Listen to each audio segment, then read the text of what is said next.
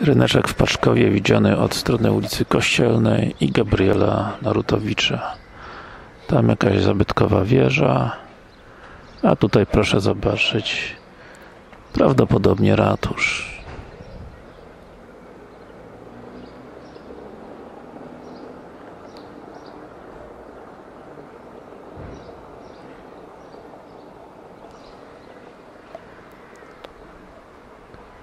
Szósty maja 2012 rok.